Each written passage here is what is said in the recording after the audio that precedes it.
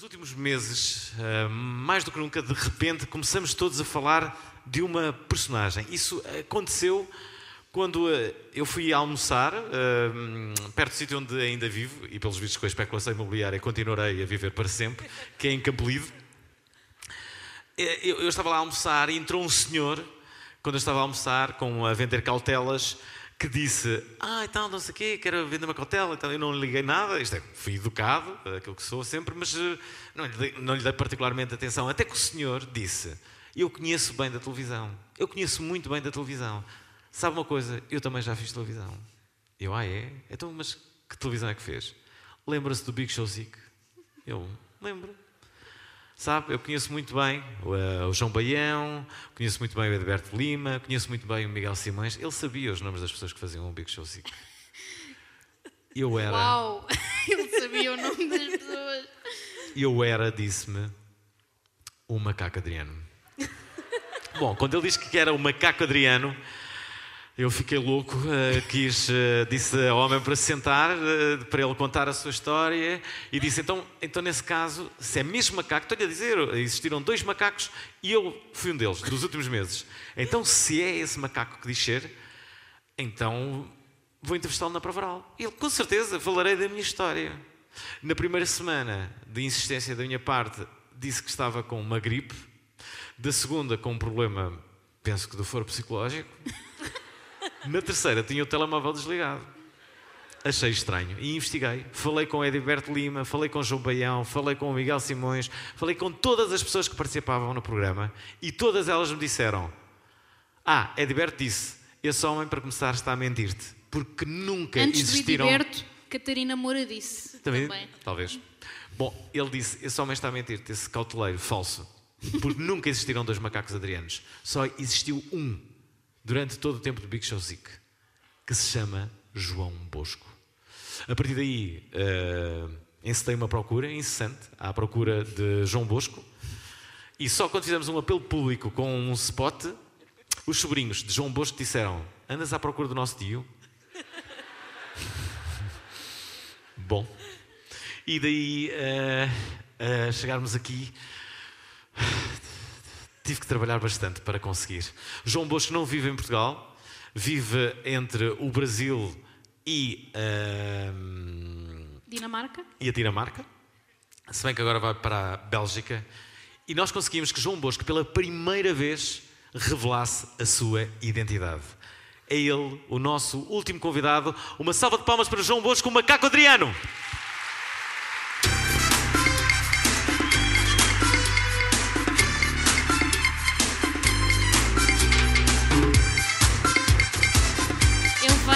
Vem mesmo? Será que vem? Ai, Marisol diz que ele ainda se está a preparar, é isso? Ah, é?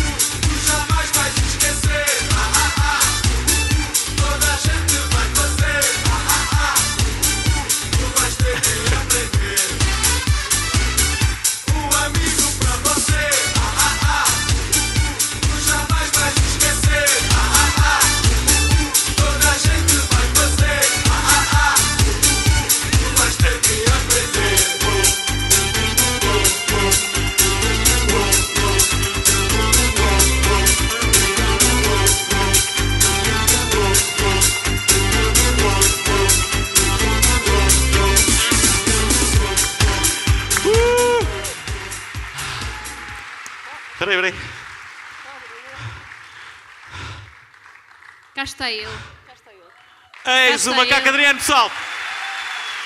É, é, para aplaudir de pé. É para aplaudir de pé este As momento. Estamos a fazer história. Estamos absolutamente a fazer história, João. Senta, senta aí. Ah, João, eu, eu só percebi que era verdade quando tu realmente fizeste aqueles movimentos e veio tudo. veio tudo. Quanto tempo é que tu foste, uh, foste to- em toda a história do Big Show? Não é? Eras, e porquê que. Ah, uma história. Porquê que o macaco se chama Adriano? Primeiramente, boa noite a todos. É, agradeço a você pelo Ah. convite maravilhoso. E lembrando também que para mim é, é importante. Eu faço uma confissão diante de todos vocês. Eu faz muitos anos, depois que o Big Show acabou, não é essa máscara que eu usava. Porque a máscara era um pouquinho mais escura, eu mesma pintava antes de entrar em cena com o Baião, a qual mando meu abraço, tive o prazer maravilhoso de estarmos juntos durante seis anos e meio, juntamente a Edberto Lima, que deu a oportunidade de trabalhar, e através disso no programa veio pessoas maravilhosas, pessoas maravilhosas, a qual tive o prazer de trabalhar durante seis anos e meio e passei bastantes momentos agradáveis, confesso a vocês. Mas agora, quando o Alvin falou contigo, qual foi? O que é que está a acontecer? Pessoal.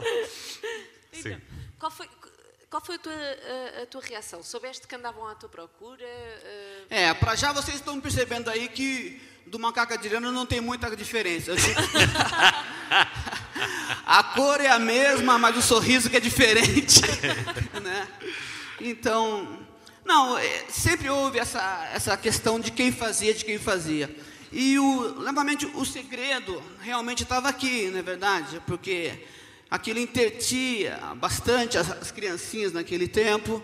Então não era. Foi uma ordem também, um pedido do Edberto, logicamente, entre, ordem entre aspas, que não tirássemos a máscara para dar sempre aquele, aquele tom, assim, aquele jeito secreto, né? E também não ficar se expondo aí, porque realmente já no estúdio a gente sofria bastante coisas, né? Bastante, bastante assédio, desculpa, mas quando saía então, se visse realmente que era, não dava nem, não, daria, não daria, não daria o que deu até o de hoje. Alguém tem vontade de conhecer o macaco Adriano? Quanto à pergunta, é uma pergunta bastante de Adriano, por quê? Eu vou pedir licença para você, porque a pessoa que a qual foi escolhido o nome é um português, por certo, já se foi, não é isso? E eu, com respeito à memória dele e memória da família também, ou melhor, em respeito à família, eu não vou responder a tua. Se bem que Eu também sei a resposta. o nome, o nome Pois eu digo, pois eu digo, não, Eu também respeito a memória do É senhor. que é muito difícil dar uma resposta dessa. sei, sei. Eu acho que esse nome somente cabe ao Edberto Lima dar essa resposta e ele sabe Ó, João, o porquê do macaco. Mas, mas- mas- Adriano. Mas uma pergunta que é, quando, quando vamos cá ver, ah, ah, na tua carreira, nesses seis anos e meio, ao não dares a cara, ao estares ah, ah, dentro de um, de, um, de, um, de um fato, isso traz algumas desvantagens, porque em termos de progressão de carreira é zero. Ah, isto é... Tu, imagina, diz assim, ah, vou-me embora para a semana, vocês vão ver a falta que eu faço. Está bem, está bem, vais ver a falta que, vai, que as pessoas vão mesmo perceber que eu, que eu me fui embora. Não é porque estás dentro de um fato, não sei, não sei. Não, acontece o seguinte, o macaco ele não falava. Então, para poder saber atuar junto à pessoa do João Baião, que é uma pessoa que estava sempre ali no, nos saltos ou tudo, então você tinha que saber a hora exata de entrar e participar, até mesmo os convidados. Por quê? Porque para dar, para dar mais ênfase à presença do convidado. Então, era, um jogo todo constantemente de bastante improviso e saber é, ter, perdoem, não que é o meu caso, né? Mas ter a inteligência de saber a hora que estou agradando e a hora que não estou, a hora certa de entrar no palco, né? Então isso juntamente com as crianças, porque quando ia perto de uma criança, ela sentia medo, tinha que ter uma certa, eh, uma certa ação de não deixar a criança ter medo e aquilo ter sempre um contato afetivo e não medo imposto nas crianças, falaram, não quero ver o macaco Adriano.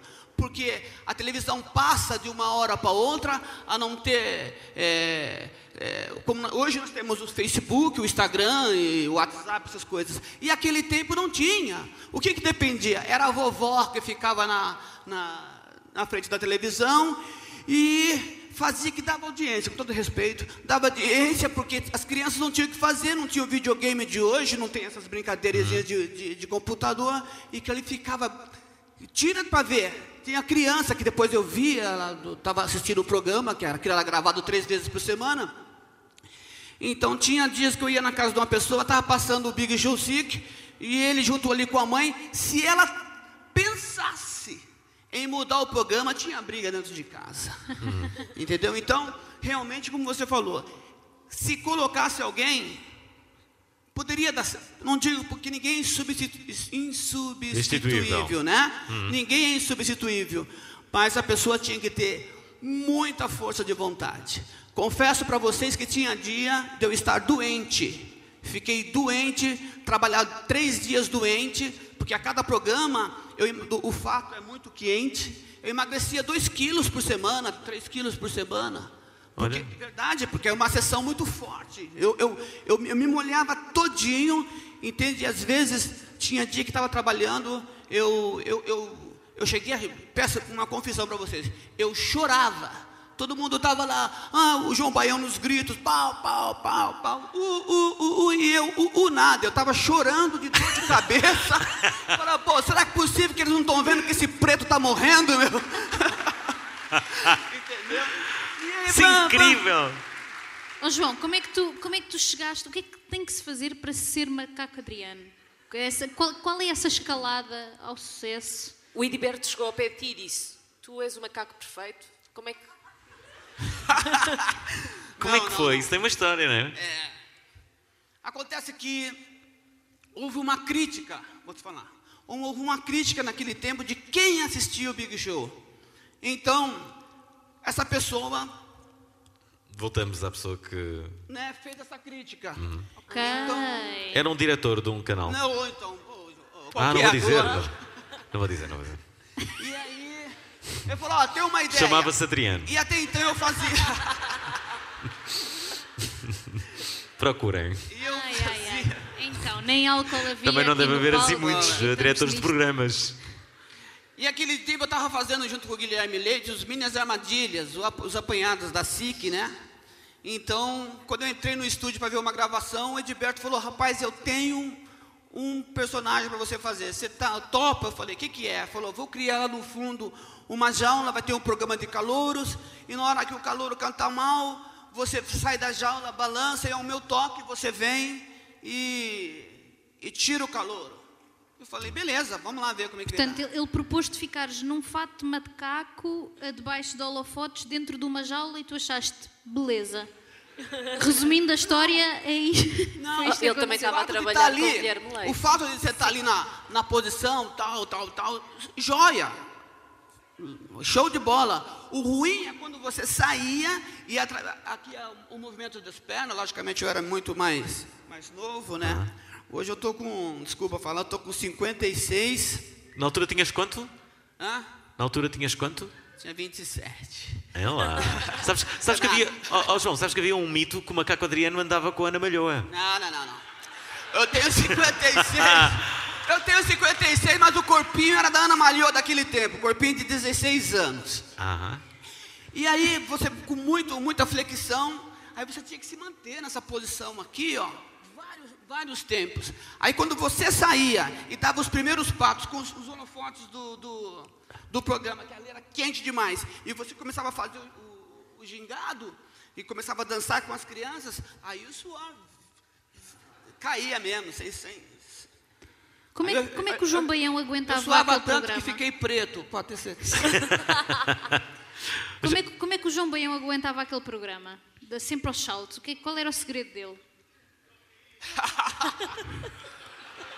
Quem é que disse cocaína? Não, não, não, não. Ecoou, ecoou. Parece. Faz a pergunta de novo. Qual é que era o segredo do João Baião para aguentar aquele programa? Eu não sei. Não sabe, não Foi sabe. realmente O Baião realmente ele tem. Ele, uma pessoa sempre. Ele saía dali e ia embora ginásio, pro ginásio né? E, e ele, com todo respeito, era dele mesmo, era a força dele, dele mesmo. E tomava os seus, as suas vitaminas, vinhas de. as suas vitaminazinhas por certo, né? Mas normal. Quem nunca? Quem Talvez, nunca? Né? Um comprimido qualquer que eu não, me- que eu não sei, o nome, não sei. Ervanárias, ervanárias. não, não, não, não. Ele aguentava bem. O João, desculpa aí, mas não, ele aguentava bem. Sei. Eu Era, sei era dele mesmo. eu sei Uma o pessoa maravilhosa, gente. Pois é, Uma é pessoa maravilhosa. Afinal de contas, todos os portugueses, vocês são maravilhosos, pode ter certeza. Quem vos diz é João Bosco. Já agora duas coisas. A primeira é que, é que eu sei um segredo sobre o João Baião, que é o João Baião vai todos os dias ao corte inglês. Sim. Já. Isto é absolutamente verdade e toda a gente do corte inglês sabe isso. E o- E o João Baião tem um irmão gêmeo. Ah, pois foi, nós comentamos isto na- no, no programa. Isto é verdade, é verdade. A outra coisa é. eh, Faz eh, muito tempo. Desde então que terminou o Big Show Sick, eu, eu terminei o Big, o Big Show Sick. é, seis meses antes eu parei. Eu falei para o Edberto, eu não vou trabalhar mais. Por quê? E como a gente tinha bastante. Eu disse o Mas porquê? Porquê que disseste que não estavas Estava cansado? farto. Então se chorava. Daí pra frente. Não, eu tava, fiquei doente. Eu, eu tinha, eu tinha os meus, eu tinha os meus problemas. Mas aí na- e, tava- eu, tava, eu tava bastante mal. E tinha um garoto, que, que sempre tem os fãs, né? Tinha um garoto, é o nome dele, um apelido Batatal. Garoto, show de bola, aquele garoto. E ele tinha quase os trejeitos do, do macaco Adriano. Eu falei, seis meses antes do programa acabar. Eu falei, ô Edberto, tem um garoto aí, eu tô, não, tô bem, tive uma operação. Por quê? Porque nisso a gente ganha um dinheirinho na televisão, bolsinho. Aí que eu fiz? Tirei umas férias com meu filho e fui ali pro tal da Serra das Estrelas. Vocês já viram um preto fazer esqui? Já, é verdade. Vai numa estância, é, é mosca branca você vê. Desculpa, tem algum preto. Galera, eu acho que eu, antes que eu desci ali, eu vi um personagem aqui. Meu, desculpa aí, tá? Cadê o fera? Desculpa aí, meu amigo. Beleza? Mas é sério.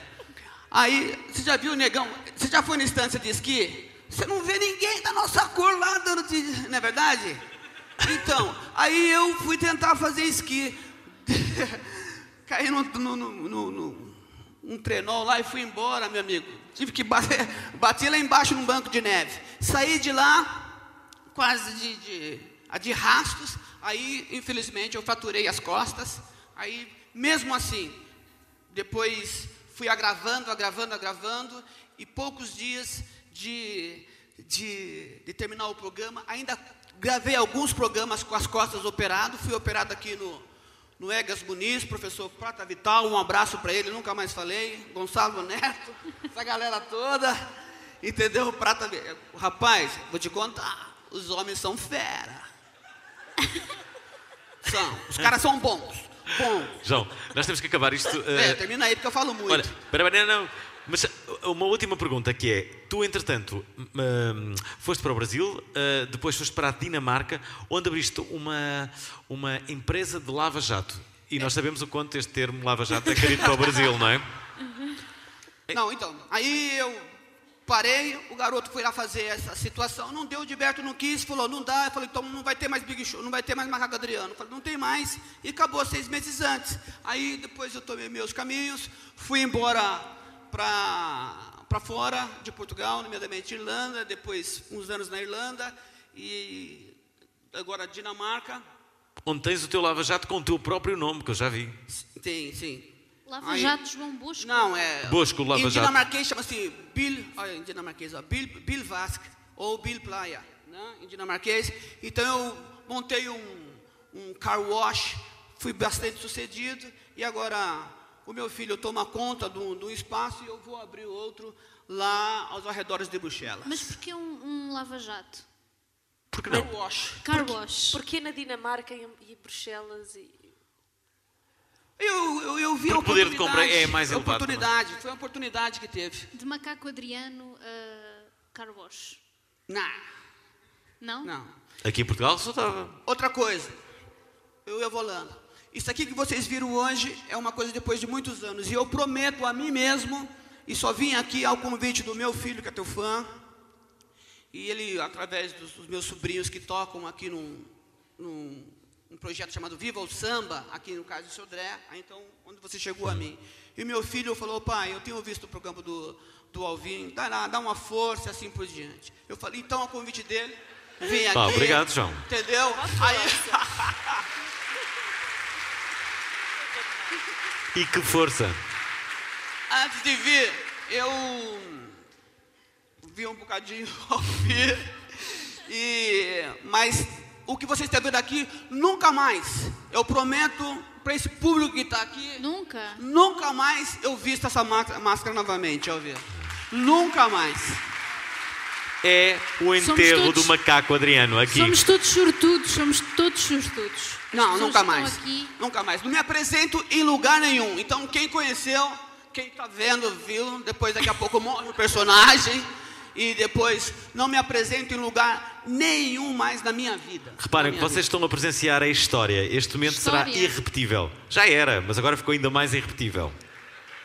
Tu, não, tu guardas más memórias do, do tempo em que eras macaco Adriano? Perdão? Se, se guardas más memórias para não quereres voltar a repetir. Então se chorava. Não.